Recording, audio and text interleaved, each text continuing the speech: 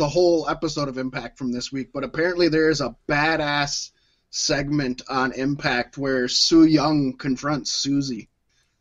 Ooh. And oh, I want to see it. And it's like, yeah, way to be creative about having to have to tape your shows. Like you can do shit like this now. You can have two people, you know, this is why I'm saying at Matt. the same time. I hate to say it, but Matt Hardy needs to be like the first legitimate person to leave AEW and go back to Impact. I, I Because agree. I think They're awesome. on top of their cinematic shit right now, and that's the only place it works. Honestly, we've seen it in WWE, we've seen it in AEW. The only place Broken Matt works is at Impact. For real. I agree. I think they just work well together. So I am excited. I would say if anybody has the time, at least go back and check that segment out. I haven't seen it for myself, but from what we know of Impact's history, what I know of Su Yung, and uh, just from what I've heard, it's it's got to be an awesome segment. So I recommend people go back and watch that. I know I'm finna. Have you seen his uh, Matt Matt Hardy's new work as the iconic Matt Hardy on AEW lately? That's actually pretty decent. Yeah, I seen him on uh, this last week's episode of, when- of when AEW. Talking talking to Top Flight about, oh, you guys used to watch us when you were growing up, but he's like, Yep. oh, well, the Young Bucks used to watch me while I was growing up, and so you watching them watching me, I'm uh, the reason for all of this. Matt fact. I like it, and if that's like the cocky, if he wants to go back to like a V1 style heel character, do right. it, do it, because the broken just It works better than the broken, at least there. yeah. Yeah. Well, Paystee, more good news. Another furloughed employee, former Cruiserweight champion Shane Helms, and former uh, uh, Talking Shop Mania guest, returned to WWE in his producer role. He was The just in the Matt Hardy segment at the last AEW pay per view. And WWE's like, no, you got to come back. The Hurricane was reportedly backstage at Survivor Series, and he was also a producer on this week's episode of Raw. Yeah, they seen that uh, Talking Shop Mania, i.e., kind of Impact, they're Impact esque, and AEW were all over him. So they they're like the kid that doesn't like a toy and quits playing with it, but as soon as another kid starts playing with it, mine, I want it. Who better to make reference to an action figure? right? that is true. What's up with that? He is Vince's least favorite toy. I swear. uh, what's good stuff? AEW announced Monday Top Flight are all elite. Airwolf and El Angel Dorado, real life brothers Darius and Dante Martin have signed with the Elite Company after making their debut on last week's Dynamite. The 21 and 19 year old brothers went up against AEW World Tag Team Champions, the Young Bucks. The High Flyers put up a good effort against Matt and Nick Jackson, but lost after Dante took a BTE trigger for the pinfall loss. They also wrestled on this past Wednesday's Dynamite. Why don't you tell us a little bit about these two up and coming youngsters, Fat Mack? Well, they are known as the coldest team in the game. The formerly masked Top Flight were trained at the Academy School of Professional Wrestling in Minnesota. Why would those sexy boys cover their faces? Uh, because they have pretty cool masks. And they were trained by Midwesterner Ken Anderson and Minnesota superstars such as Shawn Daivari, Ariya Daivari, Molly Holly, and Beef Sticks alumnus Arik Cannon. Ow, ow! Wish I had a They PBR rest- right now for you, Cannon. Ah, I wish I did.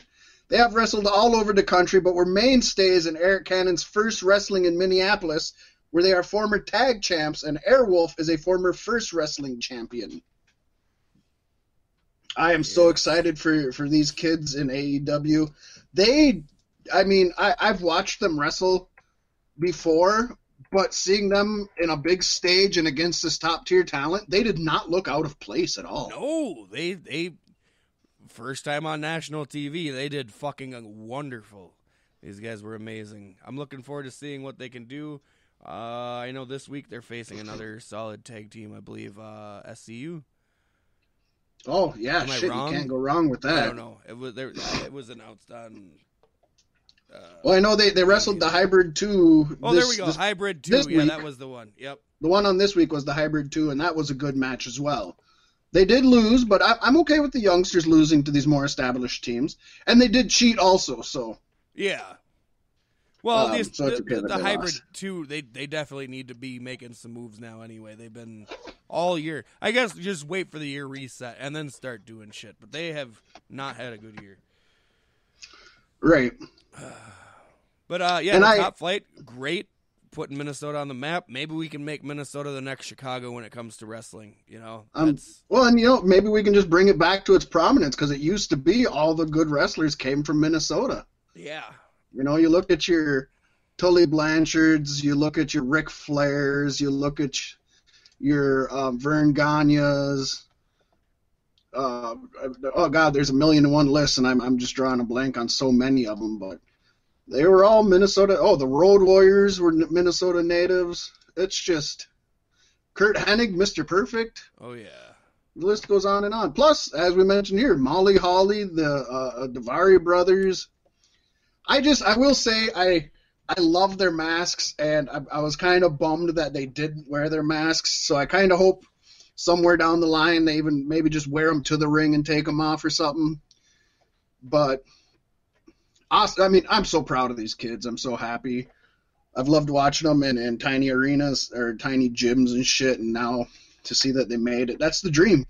And, you know, they, they had a segment on the show where they said they literally just DM'd Matt uh, Jackson, I think it was, and said, hey, we'd like to wrestle you guys. and that it was just as simple as that. that's so crazy. I love how that works. Although And, I um, think you gotta feel bad for Private Party right about now because I think they just got replaced. Right? I- Everybody I- was like, "Oh, Private Party's gonna be the next big thing," and now, now, now it's now it's these guys. Yeah, I, I will admit. But it kind of shows you, it makes me think. Um, I was listening to Talking Shop where they had Kiera Hogan uh, on there, and um, she was talking about how when she would just go to all these wrestling events, she wasn't booked, she didn't know anybody there. She'd just go, she'd have her ring, her uh, her ring gear with her, and she'd just be like, "Hey, could you use Trip me tonight?" somebody You know? be like, There's something "Oh, going hey." on, you know. Some somebody might be late, somebody might get hurt or something, and Yeah, or they might just see might her. get hurt. wink, wink. Or, or well, they said, uh, or, or you know, maybe you know that you don't get booked that night, but then they say, hey, we got a show, you know, in this town, we could use you for an opener or something. You want to do it? So it's like, yeah, just things like that. I'm, I'm not a wrestler, but I think that's everything in life. Sometimes you just got to go out there and try to do it.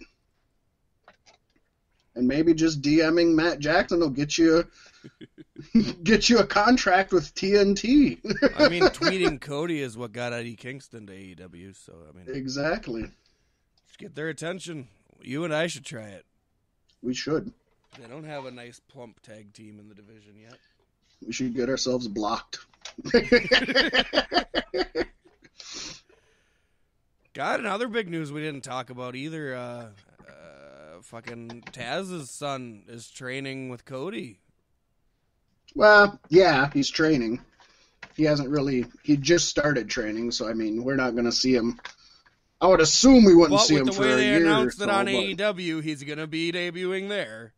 Uh, well, yeah, but probably not for a while. I would hope not. Hook, they cool call him Taz Hook. put the Tazmission in. Yeah, Taz and Hook. Yeah, yeah, it was awesome because we haven't seen a Tazmission for over a decade because of Mhm. his health problems. You know, his neck problems. Yeah. So that is cool. Yeah, I thought it was kind of weird and kind of forced that they had Hook on there for some reason. I still don't get it, but we'll see what happens. I, I feel like they're just doing it because they wanted Dominic, Yeah. but it's like even Dominic is, is still too green right now, in my opinion. You bring this kid in who, from everything I've seen so far, like has literally just started training. Like he just started now. He's never had a match or anything. He's just running the ropes and taking flatbacks and stuff. I don't know. It seems weird. And then did you hear about their main event rumors for next week's Dynamite? No. The the wild rumor mill says Kenta is the one who laid out fucking Mox backstage two weeks ago. I've seen people online speculate that. I I've Wasn't he the one that did it in sources. NXT? Wasn't he the one that did it in NXT when I don't remember if it was Gargano or who somebody got Yeah, yeah. it was Kenta, wasn't it? Yeah. But if he's coming after Mox for the IC for the New Japan IC title, you know. The U.S. title. Oh, U.S. Or, title. yeah, sorry. U.S. title. Yeah. That's uh that could be really cool. A- and it would be your first New Japan AEW appearance together and It that's- would be cool. I I think it's far fetched, especially with COVID and everything going on. Not to say it doesn't happen because Well, he's are in. Florida. That's you what the reports that I had heard said. He was in Florida. He got there Yeah. at the end of last week and he was in quarantine for a week Mm. before the It event. would. I mean, it would be cool. I think it's far fetched, but again, I don't know who's a good answer for who attacked Moxley. So, um, you know, That would be super badass. Although at the same point, I'd have to turn around and ask, why aren't you having a New Japan guy who hasn't been in WWE come to AEW? right?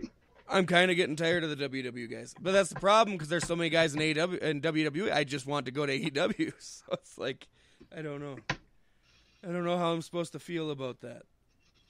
I don't know either, but I know that I, I love Kenta, and so I'm fine with him being more accessible to watch for me.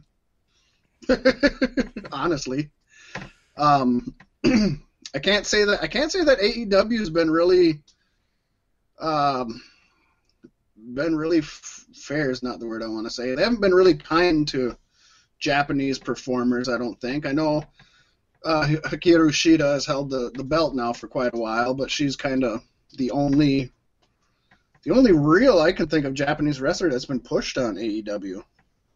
I can't Well, think of I think- anybody who's even on in their the beginning, they were more showcasing Chinese talent in the first place, and that wasn't even a signed deal. That was And just per agreement. Yeah, by showcasing you mean they had two matches. Yeah. Um, but yeah, no, I definitely want to see them do more stuff with New Japan. I do think I will say this. I think that they're building up to a uh, trios title to be at um, um, Double or Nothing Yeah. because now that they've split up, you know, they they split up the um, I guess it doesn't have a name, but um, Eddie Kingston's group and brought the Death Triangle back. So now there's a team of Eddie three. and three. Kingston's fam. That was like the closest thing to a group name. They Yeah, I don't like I don't like that at all. no, no. There's so many, you know, three people teams right now that Eddie three people Kingston- group. Eddie or- Kingston's fam just makes me think Bebe's kids. that's a, wow, that's a reference that's dated. Some Bebe's kids. That was a hilarious ass movie. God. You got the Jurassic Express. Um, what'd you think of the Panda Express? Did you watch that? Uh, yeah, I believe I saw the panda do something some point. I wasn't fully paying attention. Uh, it was it was it was fun. Right away, right at the beginning, they throw him throw him against the ropes, and then he does the uh, you know drop down, and you know you go over him and hit the other rope, and after the second time back, he just fucking gets winded. He's just can't do it. big big old panda. He doesn't he doesn't move well. it That was good. it was it was a good comedy segment. You know, AEW's like deal with- characters might be far fetched, but they feel so much better than WWE characters. What was the deal with Dark this week? I never watched Dark, and I wanted to see the Lucha Express versus the Panda Express. And Dark was an uh, two and a half hours long. Oh no, no, Dark varies. two and a half hours? Dark Dark is wildly different every week you tune in. shit. Sometimes they only have six matches. Sometimes they have fourteen matches. You Well, don't know what lot you're gonna get until they I'll tell you what, there was a lot of filler on this week's Dark, a lot of filler, including Jurassic Express versus Panda Express. It wasn't a Yeah. good match, but it, gave me a laugh. But that's the thing, though. It's, it's it doesn't even just showcase AEW talent. It showcases a lot of indie talent who are on oh, per, Oh, yeah. per appearance agreements. It keeps the indies going in this time of COVID, and I think it's a beautiful thing. I don't tune Oh, in nearly awesome. as much as I should. The last time I tuned in was to see Brandon Cutler beat Peter Avalon. yeah. I love that, and Brandon Cutler gets his second win. Am I? A, is this a streak now? Am I on a streak? Uh, they're gonna go do good things with that guy that doesn't have any hips. He is very like straight line from the armpits down. It's weird. That's why I, I think that's why he